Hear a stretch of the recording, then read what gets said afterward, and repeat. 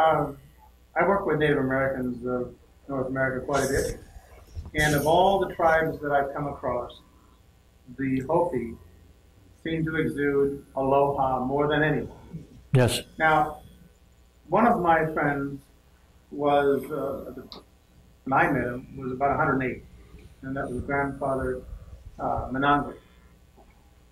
And I asked him where the Hopi came from. Now, you may know that the, their legend says they came from a hole at the bottom of the Grand Canyon. One of them, right. But he said they came from the South Seas, an island in the South Seas.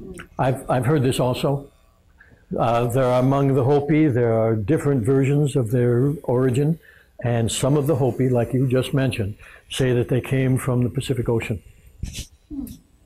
And they are one of the few who have an adventurer shaman tradition, which is one that's not so much, for the healing, is not so much based on a warrior point of view as it is what we call an adventurer point of view, which is more aloha.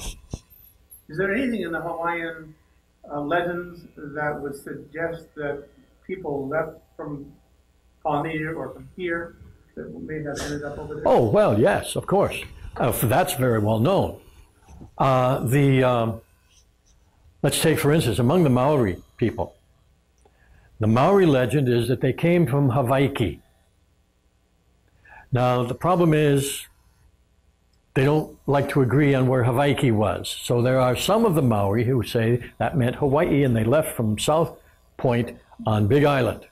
And they point out, and there are Maori who come every year on a pilgrimage to that place where they took off. We know that there was a great emigration at one point when Hawaiian Islands were invaded from the south, and that Polynesians scattered everywhere. We also know that these were the greatest navigators in the world. And they navigated everywhere.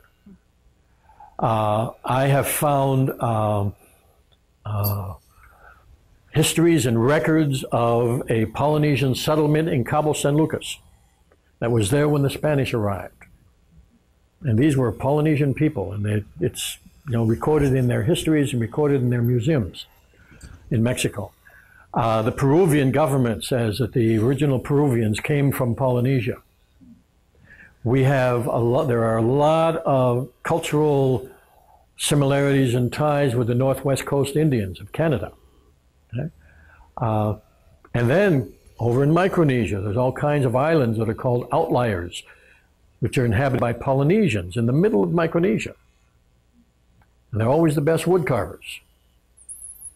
So we've got all kinds of indications. You know, people try to say, well, all these people came to the Pacific. These were the navigators, folks. These were the people who knew how to sail anywhere, and they did it. And they sailed everywhere. There are no Polynesian stories of having come from someplace else. Mhm.